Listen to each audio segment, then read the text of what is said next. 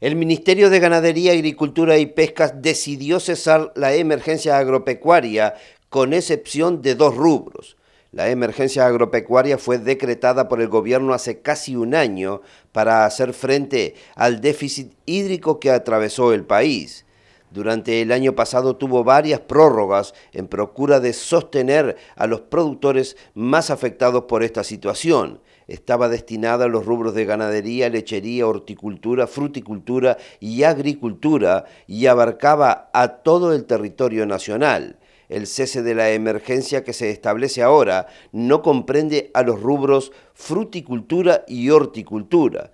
Por esto, estos sectores que resultaron afectados por los temporales de diciembre del año pasado podrían postularse a las medidas de ayuda hasta el 31 de marzo. Por otra parte, el Ministerio de Ganadería avalado por Economía, decidieron extender el plazo del Sistema Nacional de Garantías para que siga para micro, pequeñas y medianas empresas de todos los rubros del sector agropecuario hasta finales del mes de marzo.